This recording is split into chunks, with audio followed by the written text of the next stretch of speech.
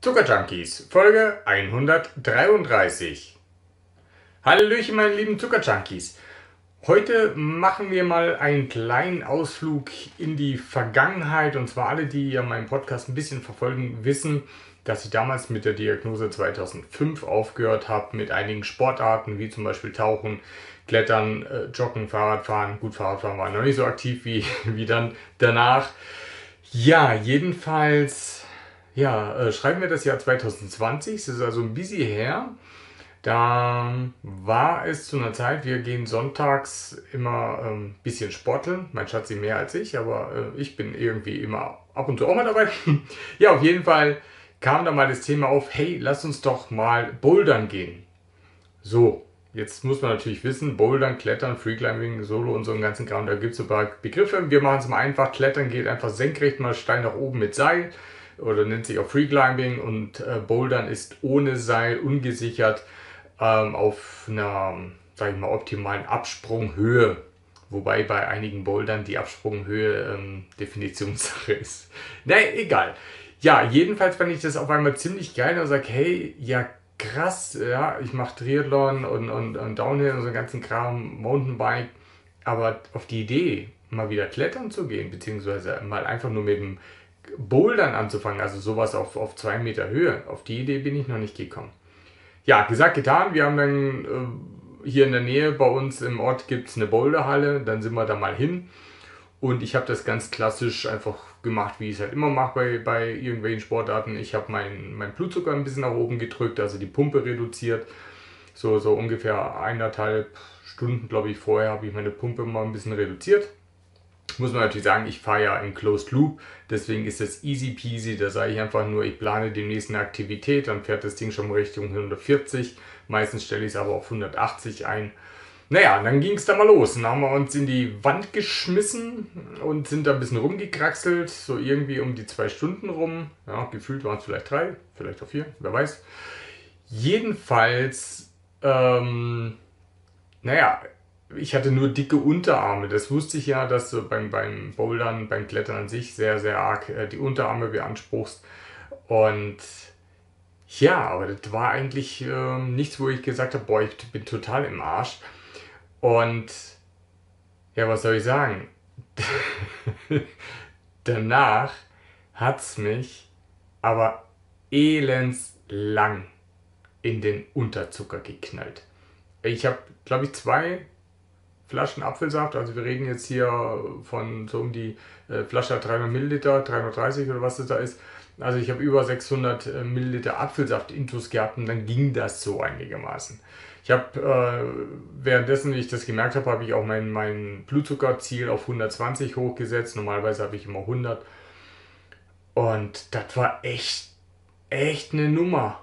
Und da habe ich wieder eins gelernt. Also du darfst bei Sportarten, die du nicht kennst, einfach und du denkst, war ja, war ja nicht anstrengend, einfach deinen Körper nicht unterschätzen. Der sagt sich halt einfach, für mich war das aber anstrengend und ich habe einen Muskelauffülleffekt. Und das war so unglaublich. Das war so ein Augenöffner und den wollte ich einfach mal mit euch teilen. Und vielleicht auch noch ein paar Tipps für alle, die sagen, boah, geil, Bouldern, das will ich auch mal. Also gebt einfach nur mal irgendwo im Internet in der Suchmaschine ein. Boulder, Kletterhalle, irgendwas, da findet ihr immer irgendwas könnt ihr einfach anfangen, brauchst, kannst du die Kletterschuhe dort ausleihen, kriegst auch so einen kleinen Kalkbeutel, Chalkbag und dann könnt ihr auch schon loslegen. Ganz wichtig für alle, die ähm, Pumpenträger sind, seid nicht so dumm wie ich und versteckt eure Pumpe hinter, hinten an der Hose, habe ich so einen Reißverschluss oder so eine Sporthose, habe ich die Pumpe reingemacht und wenn du halt boulderst, springst du ab und zu mal runter und ab und zu ähm, haut sich halt auf den Hosenboden vor lauter Schwung und dann knallst du mal auf die Pumpe. Es ging immer gut, tat nur scheiße weh, aber viel schlimmer wäre es gewesen, wenn die Pumpe im Arsch gewesen wäre oder ich hätte den Connector da vom, vom Katheter kaputt gemacht oder wie auch immer. Auf jeden Fall wäre es scheiße gewesen. Dann für alle, die Sensoren tragen, FGM, CGM, whatever.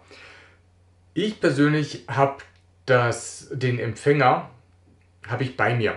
Den habe ich bei mir einfach ähm, seitlich in die Hose gesteckt. Ja, kannst du einfach hier irgendwo seitlich so ein bisschen die Unterhose irgendwo reinpacken, so an die, an die Hüftseite. Das war super, hat auch prima gut funktioniert. Idealerweise nimmst du aber einen sogenannten Flipbelt. Ähm, verlinke ich in den Show Notes. Flipbelt ist nichts anderes wie so ein, so ein gummiartiger Gürtel mit lauter Schlitzen. Und in diese Schlitze kannst du alles Mögliche reinstopfen. Äh, äh, auch die Pumpe zur Not. Dann drehst du das ganze Ding wegen mir auf den Bauch. Und jetzt kommt der Name Flip. Ja? Du drehst das um und dadurch sind diese ganzen Schlitze verdeckt. Hat den riesen Vorteil, du hast jeden Klimbim, du kannst auch, äh, ich habe ja immer so Gummibärchen bei mir, kannst also deine Gummibärchen verstecken. Ähm, in den meisten Kletternhallen, wenn sie nicht allzu riesig sind, kannst du auch irgendwo am Rand einen Apfelsaft oder, oder irgendwas Flüssiges auch bunkern, das geht ja auch. Ähm, nur du solltest es natürlich auf gar keinen Fall unten an der Wand irgendwo hinstellen, das wäre ungünstig. Ja, und jetzt immer schön dran denken, den Blutzucker nach dem Klettern im Auge behalten. Am besten bei einer äh, Insulinpumpe reduzierst du deine, ba deine Basalrate und wenn du ein Penner bist und Insulin spritzt, äh, reduzierst du ein bisschen das Insulin, spritzt vielleicht nur die Hälfte zum Essen oder wartest halt einfach lieber, korrigierst du einen Überzucker, als ein, äh, ja, dass du einen äh, Unterzucker kriegst.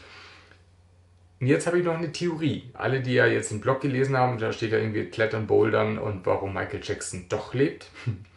Habt ihr schon mal bemerkt, dass Michael Jackson abgetapte Finger hat?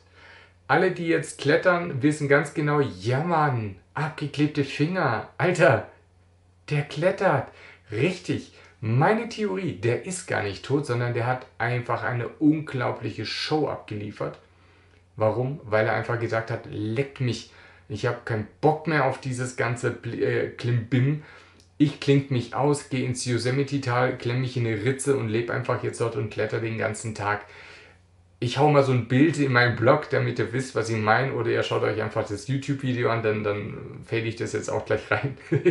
ja, auf jeden Fall, Michael Jackson lebt in meinen Augen, weil der klettert nämlich im Yosemite-Tal, die alte Socke. In diesem Sinne haben wir ein bisschen wieder was gelernt. Recht herzlichen Dank für die Aufmerksamkeit und bis bald.